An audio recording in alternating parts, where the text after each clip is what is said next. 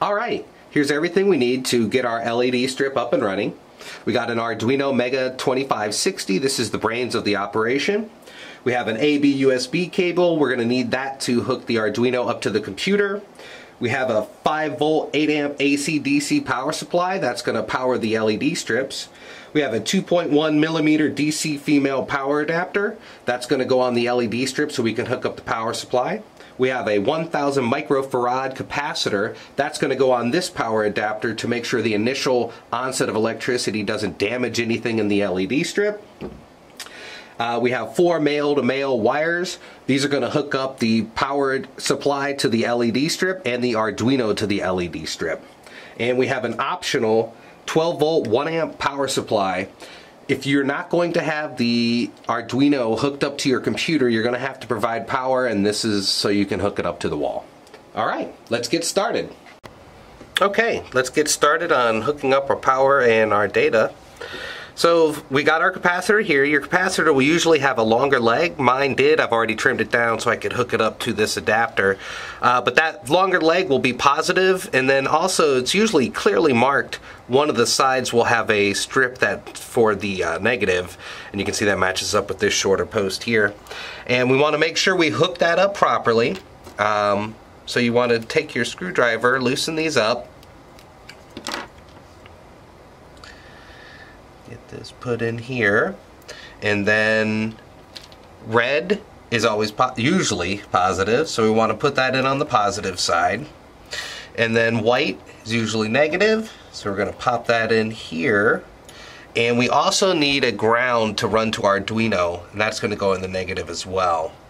You want to make sure those are all in there properly. And then tighten these up.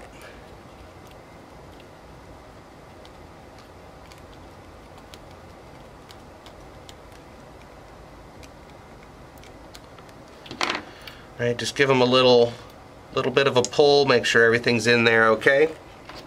And then we want to hook these up to our LED. So red to red. We're going to use green, the middle, for our data. And then we got white to white. Alright, that's all hooked up.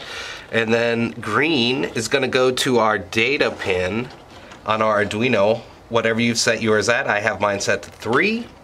And then the negative is going to go to one of these grounds on the other side, just like that. Alright, now that you've downloaded and installed the Arduino software, go ahead and start that up. And the first thing we want to do is make sure the settings are okay for our board. So we want to go to Tools, Port, and you should see your Arduino listed here. If it's not selected, go ahead and select it now. And then we want to import the libraries, which I've linked in the description. And we want to go to Sketch, Include Library, Add Zip Library. Browse to your download area, and then just double click on the library, and it'll go ahead and add that. And to load up an example, go to File, Examples, and I'm going to start with an FX Master auto mode cycle. Click that and it'll load. And we want to make sure the parameters are correct. So my LED count is 240, not 13. And if you remember, I hooked mine up to the data pin 3 on the uh, Arduino. So I'm going to change that here.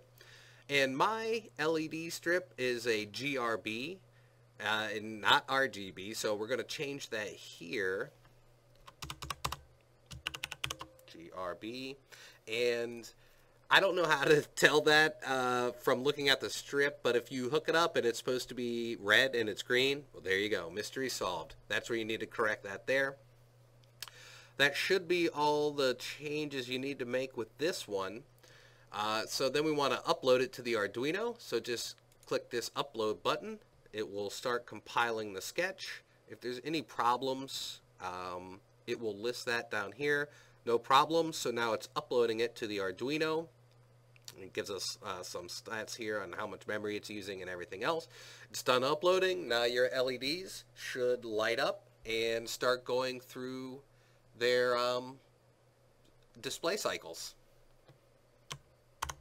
Alright, here's the lamp I made uh, with my LED strip. So this is 4 meters and 60 LEDs per meter wrapped around a Pepperidge Farm tin. Um, I'm using electrical tape right now to keep it in place. I didn't want to use the adhesive uh, on the strips because I'm still experimenting. I want to try out new shapes and things like that. Um, and one important thing to note if you have the plug and the wires here is to never get involved in a land war in Asia and also tape up the ends of your wires. You definitely don't want live wires and especially when you're using a metal tin. For the lampshade, I made this myself. I got some pressure sensitive styrene and some nylon silk which they use to make camera soft boxes. Uh, this was actually pretty simple to make. You just cut the styrene to the shape you want. Uh, peel off the backing, apply the apply it to the nylon silk, cut the silk, and then I use tack glue here on the edges and to seal everything up. And then I used an X-Acto blade here on the bottom to cut a little notch so it would sit a little more flush on the table. And that's it. So, you should have everything you need to make some cool stuff. I hope so. And if you do, uh, make a video and share it. I would love to see it and uh, get out there and have some fun.